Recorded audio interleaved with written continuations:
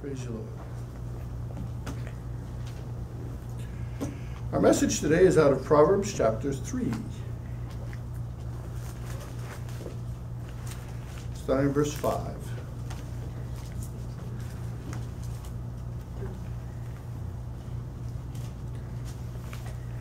It's called Direction from God. Proverbs chapter 3, starting in verse 5. Says that trust in the Lord with all thine heart and lean not unto thine own understanding.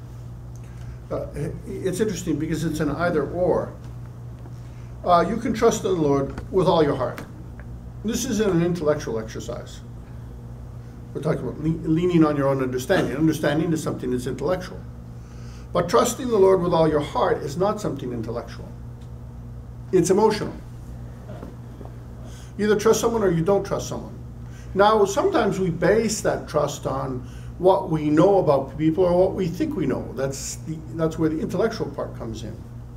But if you notice, for the most part, when you keep the intellectual out of it, you, you'll make a right choice. Leaning to your own understanding is always limit, limiting. Why? Because we, we know very little. Uh, it's much like uh, we're all blind. And someone comes along and says, Well, I'll take you where you want to go. Now, you're either going to say yes or no, depending on whether you think you can trust them or not. But if you don't know them, you have no factual basis to trust them or not to trust them. Children naturally, instinctively trust their parents. Sometimes the trust is misplaced, but they always instinctively trust them. That's why God said He wants us to be like little children, to trust Him. Why? Well, He's already proven He died on the cross for us. Trust in the Lord with all your heart. This is something that comes from here. It's not rational. It's like you don't trust Him because you trust Him because you trust Him. The same way a child trusts a parent for no objective reason. It's just their parents. They're supposed to be trusted. And lean not onto your own understanding, because like I said, you can't you can't understand God. First of all, if you served the God you could understand, he wouldn't be worth serving. So you trust God because you know that he's good, and you also know that he's all powerful. Good reason to trust him. But you can't trust them on the basis of what you know intellectually. You either trust somebody in your heart or you don't. Like I said, trust is something that is in your heart, it's not intellectual. Well, I'll trust them because. It's not usually how it works. When you enter into marriage, you trust somebody. If there's lots of people you see get married, it's like, this doesn't look like it's going to end well. Because they want to trust trust, but they don't, they don't know the person. they have all kinds of reasons not to trust, but it's not about what they know, it's about what they want to believe. Trust in the Lord with all your heart and lean not unto your own understanding. Why? Well, verse 6 is In all your ways acknowledge him. This is really important. In everything that you do, in everything that you say, in everything that you think, acknowledge God. Why? Next verse, and he shall direct your paths. Now, first of all, you acknowledge him because he's there. It's kind of funny, but people in a general context, even Christians, I've noticed, it's like they live their life and it's like God isn't there. It's like he's an absentee God. He's up there, but we're down here, and it's like, so he's just doing his thing up there, and I'm doing my thing down here, and, and we'll, we'll, we'll catch up on Wednesdays and Sundays. But it does, it's not like that. He's always, wherever you are, whatever you're doing, He's there. He's saying acknowledge the fact. Recognize the fact. When you are doing your dirt, when you're thinking your dirt, recognize He's there.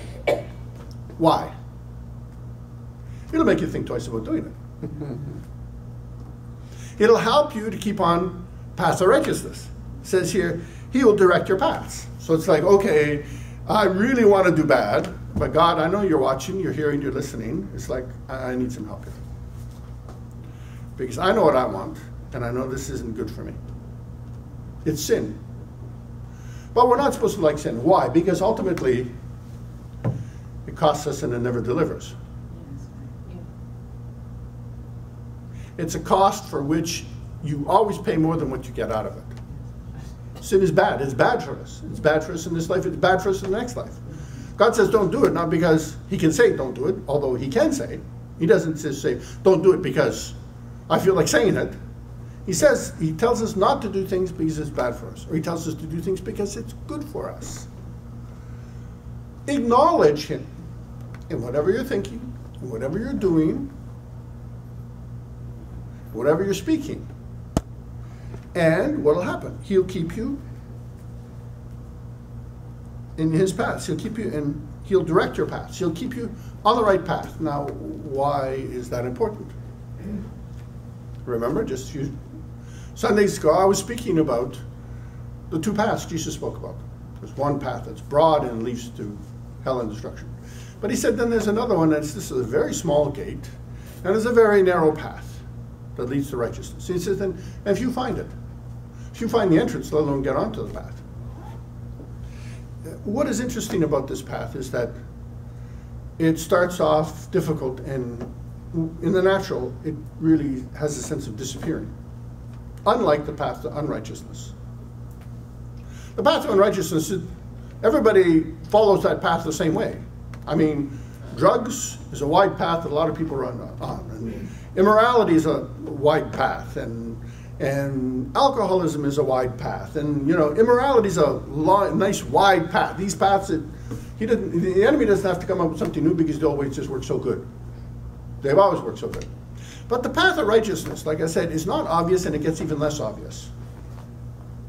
But it's interesting because right in, in Proverbs chapter 4, verse 18, it, it says something that's quite interesting. It says, The path of the just is as a shining light that shines more and more into the perfect day. Why is that important?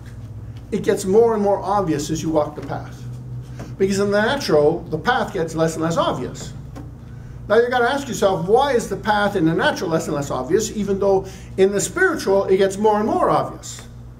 And the answer is because that path is a custom path. Whereas the path to unrighteousness is a wide, generic path. The path to righteousness is a custom path. It's a path just for you. So, in other words, nobody else, not even my wife, can walk the path that I'm walking. And she's walking on a parallel path, but it's not the same path. She's got her own relationship to walk with Jesus. And so nobody can walk somebody else's path. So it's a custom path. Why is it hard? Because it's only one path, and you are creating it as you walk it.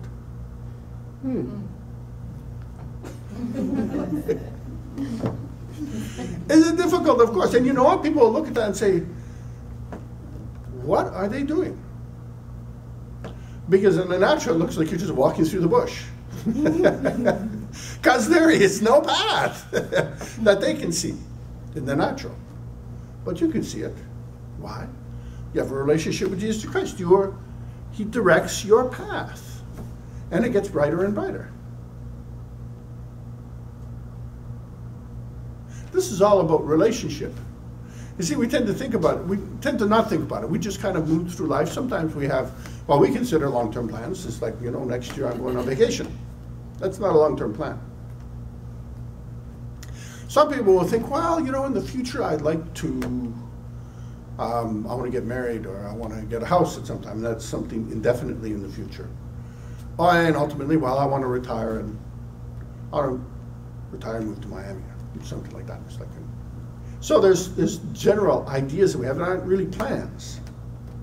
There's not that much real planning that goes on in life when you think about. I'm talking about Christians and non-Christians. But the good thing about it is, when your path is directed by God, you don't have to worry about the planning because your steps are ordered of the Lord. So while you might not be thinking about retirement, he's thinking about where you're going. He's thinking about getting you that house. Why? He wants good things for you. He's thinking about marriage. He's thinking about your retirement. He's thinking about taking care of you, where you're going, what you're doing. That's why it's so important. He's got a plan for you. Now you can do your own thing, be out there, and it's like at the end of the day, it's like I don't know how I got here, and I really don't want to be here. It's like well, after the fact, God can do go a long way towards fixing things, but it's better to get it right in the first place. Walk with Him, and He brings you to the right things. He brings you to the good things. In all your ways acknowledge Him, and He shall direct your paths. He's taking you where you need to go, whether you even realize you need to go there or not. Sometimes it doesn't look good. But we only see, we only observe, we only experience five senses. We don't, we don't see what God sees. He knows the end from the beginning. Not even the enemy knows that. So he knows how to get us to a place where we have fulfillment, peace, and joy in him. That's why it's so important to trust in the Lord with all your heart to lean not onto your own understanding. In all your ways, acknowledge Him. And what does that all lead to? He'll direct your paths. And that is our message for today.